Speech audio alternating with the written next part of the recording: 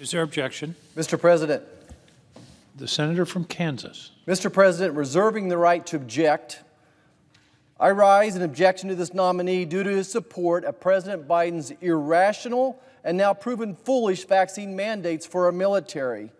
Last August, the Biden administration imposed a COVID 19 vaccine mandate across the entire military. This led to the expulsion of thousands of qualified, honorable service members who elected not to receive the vaccine.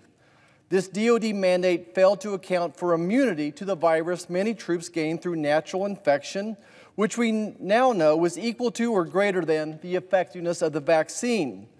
The mandate also failed to account for the fact that these men and women are our bravest and healthiest Americans with strong immune systems. Recently, we learned the Army cut roughly 60,000 National Guard and Reserve members from pay and benefits for refusing to take the COVID vaccine at the beginning of July. This decision was made at a time when more than 30% of its recruitment slots are not fulfilled.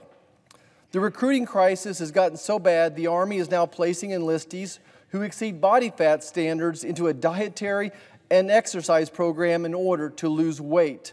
This manpower shortage could result in undermanned units and potentially longer deployments, as well as greater dependence on National Guardsmen and meeting mission goals. These personal shortages are clear and obvious, and they're getting worse. Yet the ideologues in charge of this administration refuse to drop the vaccine mandate for the military. military. There is no longer any rational basis to persist in this demand other than its deliberate campaign to punish dissenting opinions and oppress political enemies. The department also appears to be going out of its way to deny religious accommodations for our troops. More than 24,000 members across the branches have submitted religious accommodation requests. Almost all have been rejected.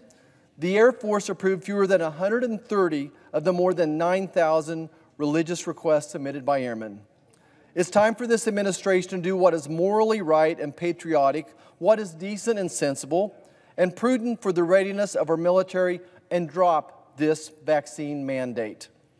Further, the Defense Department should reinstate those service members who have been expelled for this reason, return them to their previous positions, and provide back pay for time missed. But until they do so, I will continue to object to this nominee, and therefore I object. Mr. Objection is President, heard. Mr. President, very briefly. uh, the Senator fact from that- Hawaii.